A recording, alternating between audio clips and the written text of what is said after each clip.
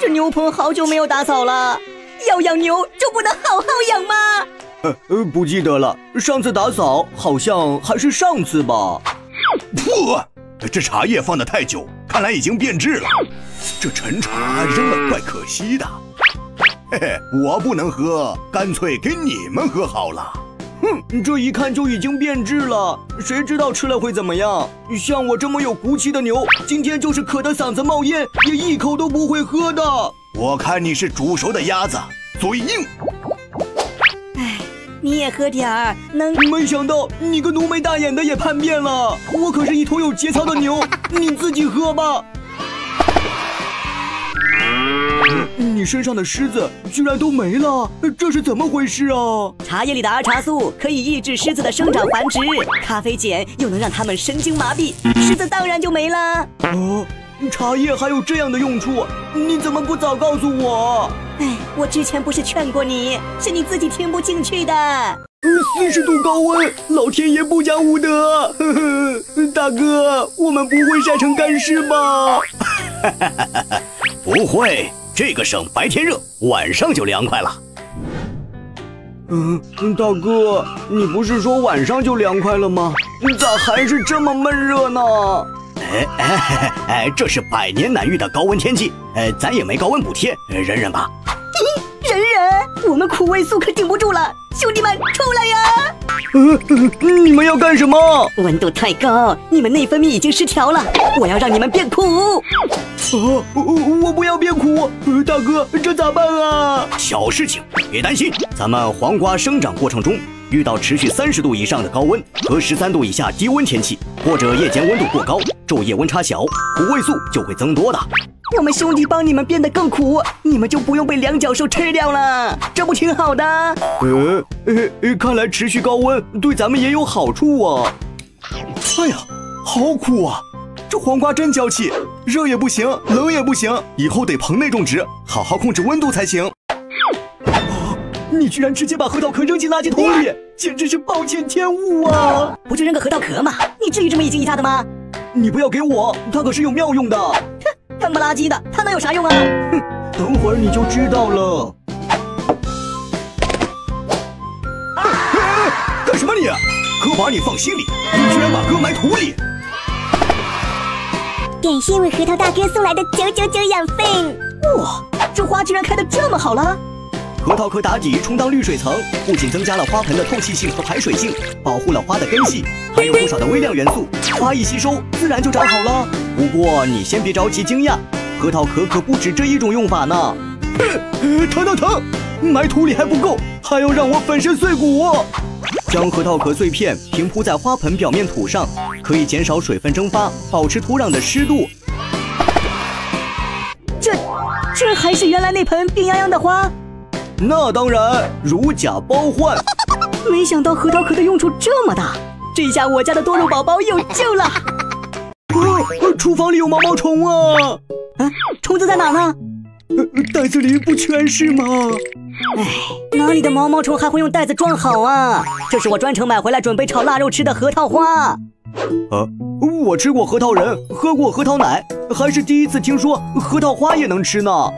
嘿，不仅能吃，味道还很不错哦。反正你来都来了，就帮我一起摘了菜再走吧。嗯，行吧。哎，你在干什么？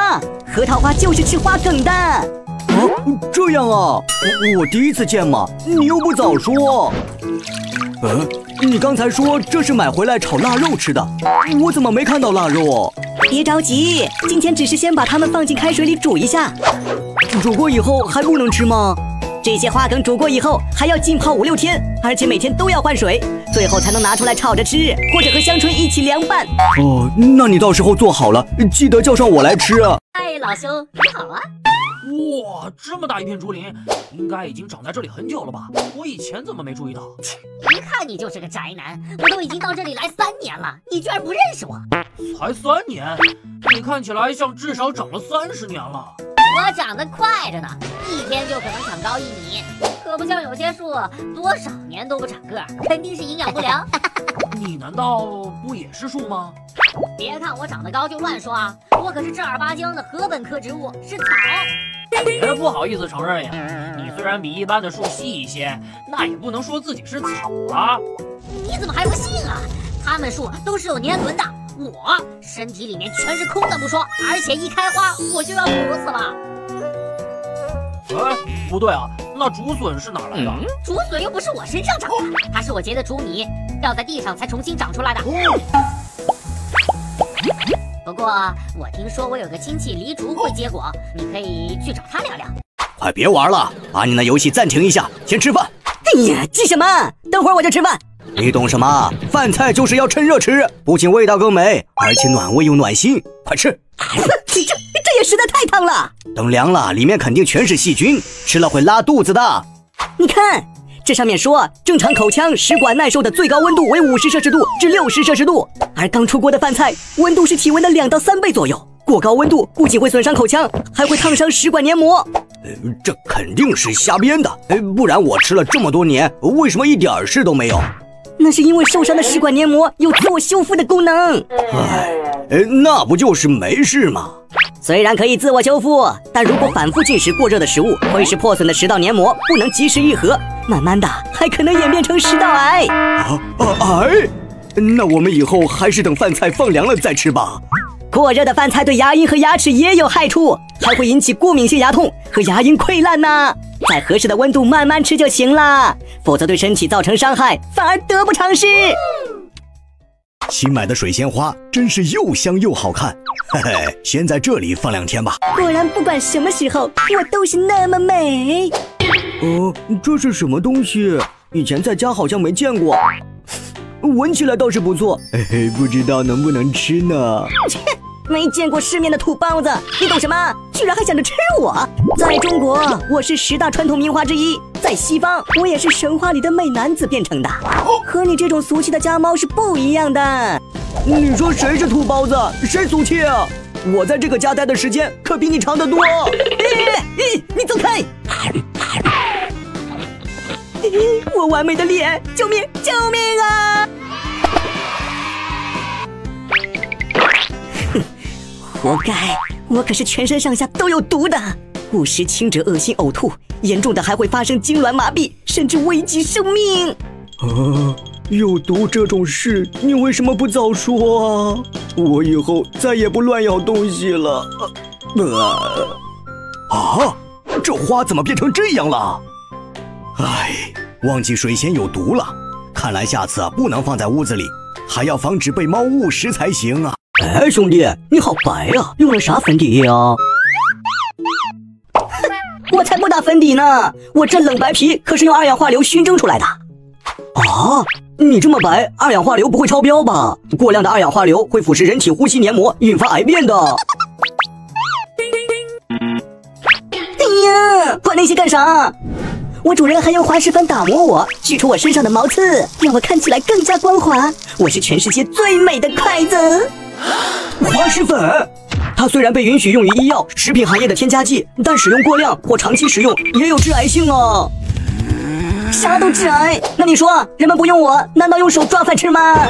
喂，我还没死呢，可以用我用你？谁知道你在消毒柜里杀菌杀的干不干净啊？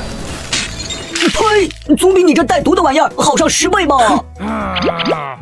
爸，咱俩半斤八两的，还是家里的筷子干净些。看来我已经时日无多了。果然红颜多薄命，那个渣男当初带我回家的时候叫我小甜甜，说会照顾好我，现在嗨，不起眼吧。这花什么时候买的？我怎么不记得？还不是因为你经常忘记给我浇水，我才变成现在这样。既然如此，我正好把你拔掉，去买一束新花，你就乖乖的腾地方吧。不要啊！我觉得我还可以抢救一下，再给我一次机会，我一定能重新长好。啊？那你说说有什么办法？妹子别怕，这事儿还得看俺。你也就平时吃着味道还行，这事儿你能解决？可别看不起葱，我的用处多着呢。你按我说的做，保证能行。先把花取出来，把枯萎的根剪掉，那些根系肯定活不长了。哦，记得把花洗干净哦。拿去吧，要切碎用开水泡，不然就浪费了。妹子，现在你可以进去了。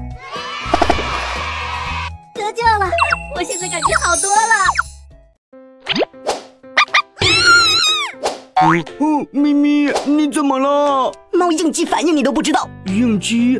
我怕它家里蹲太久了，以猫，才遛遛它的。天哪，你竟敢遛猫！猫的敏感程度在动物界是遥遥领先，天生就胆小，它们应激起来可不得了，小则跑得无影无踪，乱拉乱尿，大泽……啊，实在控制不了我自己。大泽咋了？丧命！丧命！呃，咪咪，你别死啊！你咒我，都怨你，非得拽着我出来！你咋会说话了？哼，应激了呀！一出来到处都有寄生虫，我这娇贵的身体哪里受得了啊？那快下来，我们回家。哼，跟你在一起一点安全感都没有，我不要。以后记得带不透明的背包，这样他就有安全感了。觉得你很懂我耶，你领我回去呗。咪咪别走，没有你我可怎么活呀？